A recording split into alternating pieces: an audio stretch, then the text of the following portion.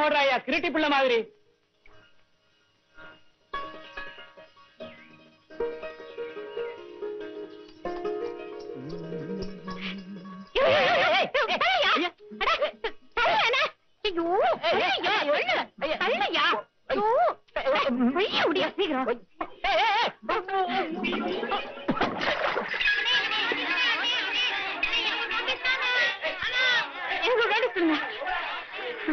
Cinema notice வாங்க. இவ்வளவு அவசரமா?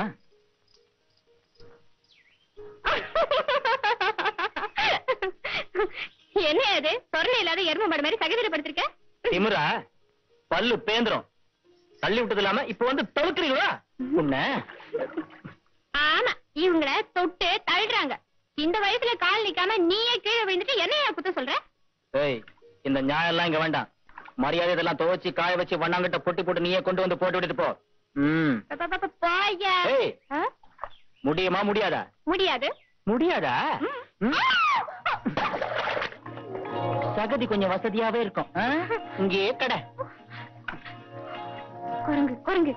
பொம்பளை கிட்ட வீரப்ப காமிச்சிட்டு போற இல்ல? உன்னை அப்புறமா பேசிக்கிறேன். எங்கும் சகதியோ?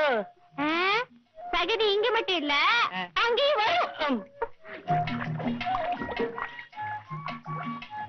ஐயோ பொட்டி போட்ட மடிப்பெல்லாம் போச்சு.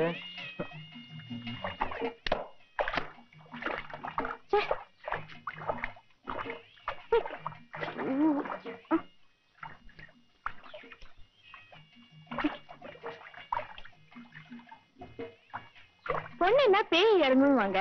இந்த பேய் இறக்குன்னா என்ன விலைன்னு கேக்குது. பொண்ணு பொண்ணா இருந்தா பரவாயில்ல. பொண்ணு அது பிசாசு. மூஞ்சிய பாரு. ஆமா இவரு பெரிய அஹ். இந்த ஊர் ரதிகளுக்கு இந்த மூஞ்சி போதும்.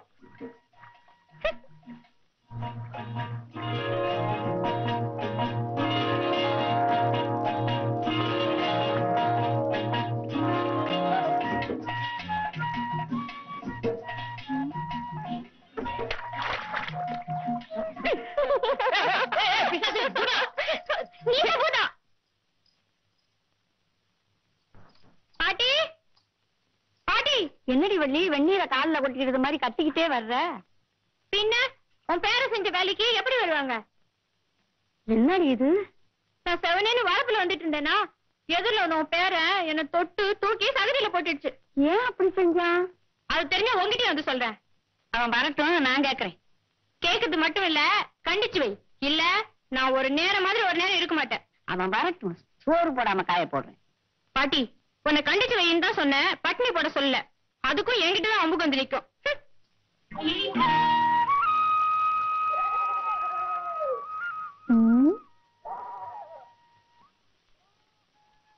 வீட்டுக்கு போ.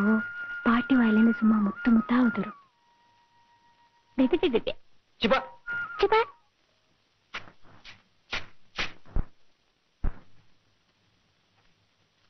என்ன பட்டி இன்னுமா சோறாக்கல? உனக்கு இன்னைக்கு நான் சோறு போட போறது இல்ல ஈர துணியை வகுத்துல கட்டிக்கிட்டு அக்கடான்னு பாடு.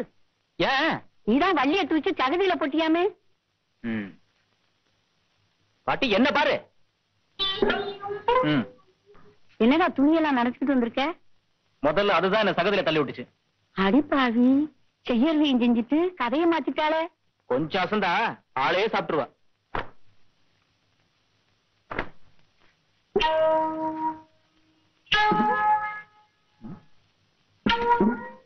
என்ன செய்யற கல்ல பொறுக்கிறேன்டா.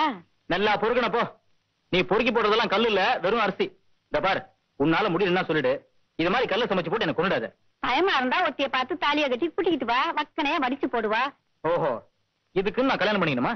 அதுக்குன்னு இல்லாம போனாலும் திடீர்னு கண்ணு மூடிட்டா உன் கல்யாணத்தை எப்படா பார்க்க போறேன்? அவ்வளவு சீக்கிரம் நீ சாக மாட்ட. புரியாம பேசாதடா. படுத்தா தூக்கம் வர மாட்டேங்குது. வந்தாலும் யாரோ எருமை மேல உட்காந்துக்கிட்டு கயத்தை வச்சுக்கிட்டு கூப்பிடுற மாதிரி இருக்குடா. நிறுத்து. தாத்தா சாக கிடக்கும்போது இதே கதை தான் சொன்னியா? நான் பூவும் பொட்டோட போயிடுவேன்னு. அவரு பொட்டோட போயிட்டாரு நீ போகல. அப்புறம் அப்பா படுத்தாரு அவரு போயிட்டாரு நீ போகல. அம்மாவும் போயிட்டாங்க நீ போகல. அநேகமா என்னையும் அனுப்பிட்டு தான் நீ போக போல இருக்கு. அட கருணாக்கு பயல ஏன்டா துக்கிரித்தனமா பேசுற? உன் மேல உசிரியே வச்சிருக்கேனடா. நான் செத்தா நீதான் கொல்லி வைக்கணும். ஆண்டவன் உன்னை நூறு வயசு வரல வச்சிருக்கணும்டா. படி படி படி படி. சும்மா தமாஷா படி என் கண்ணு இல்ல என் ராஜாத்தி இல்ல.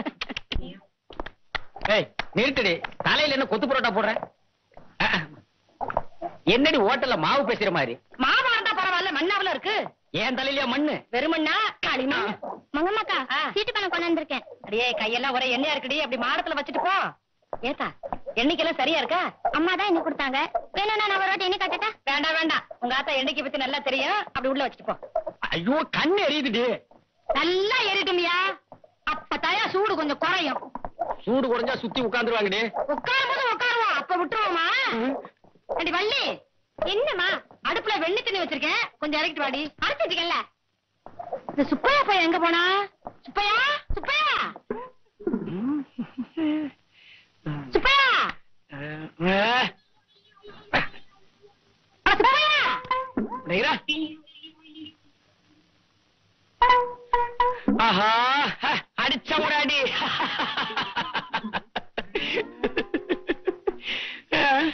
போய் தனியா ஆடும்போது நல்லா தான் ஜெயிக்கிறேன்.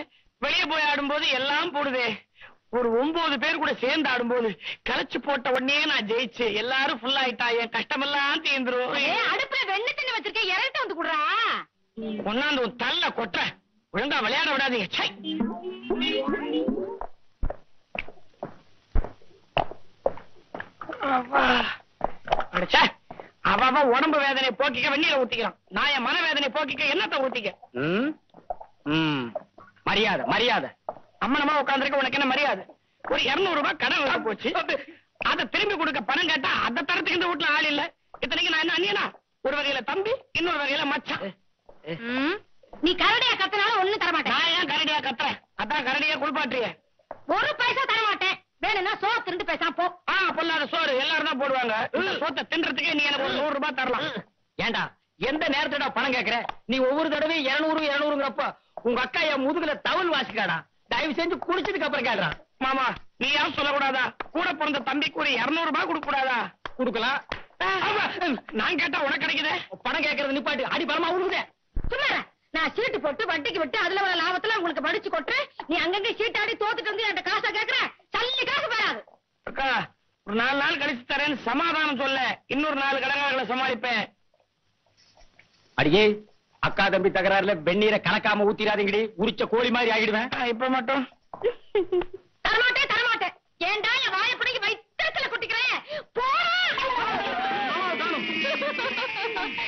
எனக்கு தெரியும்டி. இப்படி எக்கு தப்பா அடி உழுமுன்னு தெரிஞ்சுதான் நான் இங்க வந்து உட்கார்ந்துட்டேன். அட்டையில போறவனே என்னை வாழவும் விட மாட்டேங்கிறேன் சாகவும் விட மாட்டேங்கிறியாடா ஐயோ ஐயோ. யப்பா. யப்பப்பா.